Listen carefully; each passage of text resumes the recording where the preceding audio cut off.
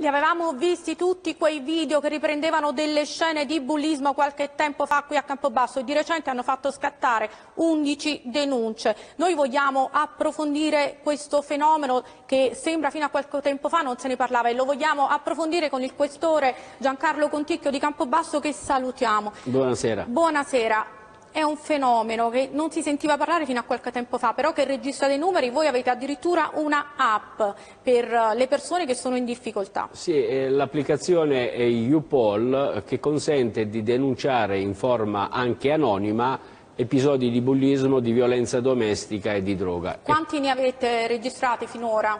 Nel 2021 abbiamo avuto 10 casi, in questi primi due mesi due casi tutti vengono attenzionati dalla sezione specializzata della squadra mobile. Bene, quest'ora noi le, le, chiediamo di restare con noi perché insieme vorremmo vedere delle testimonianze che ha realizzato eh, Laura Calfapere, sono delle testimonianze dirette molto forti di giovani, vediamole. Io vengo a prendere mia nipote proprio apposta, vengo con la macchina, abito qua vicino proprio apposta per queste cose qua. Perché ha paura che eh, possa essere vittima sì. di bullismo? E come no. Orario di uscita da scuola da uno dei tanti istituti della città capoluogo di regione. Ci sono parenti in attesa di nipoti e figli e ci sono i ragazzi. Conosci qualche compagno che ne è stato vittima? Eh, sì, a scuola ne abbiamo parlato, anche hanno raccontato la loro storia e abbiamo cercato di consolarli in qualche modo. Che lezione traete dal racconto dei vostri compagni vittima di bullismo?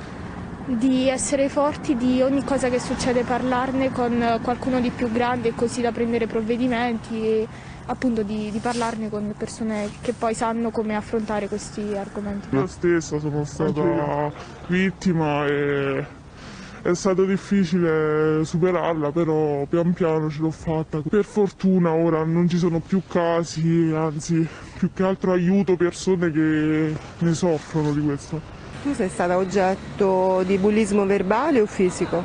Eh, più verbale che fisico, fisico poche volte, anche io molto verbale.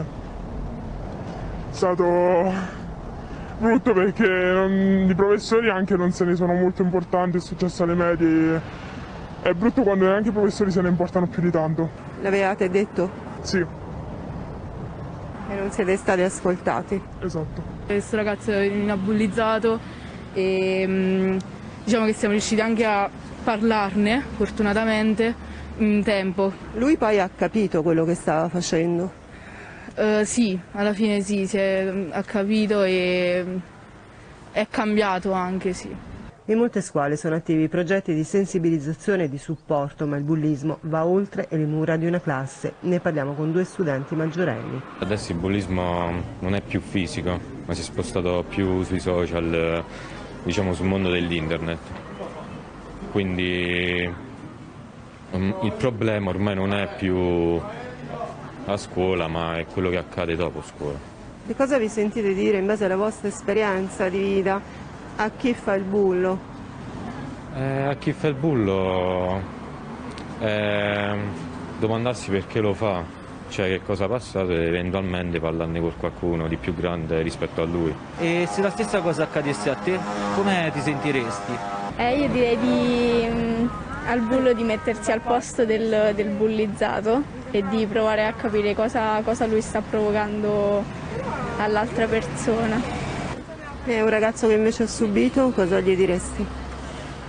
Uh, che sì, cioè che deve sempre parlarne, non deve mai eh, diciamo, occultare la cosa e quello che gli succede perché non è lui dalla parte del torto. Sono parole forti, quelle che abbiamo appena sentito vengono da parte dei giovani, chiedono di essere ascoltati. Allora, quest'ora noi le chiediamo quanto la polizia riesce a contrastare un fenomeno e quanto è importante però la vicinanza della famiglia, della scuola.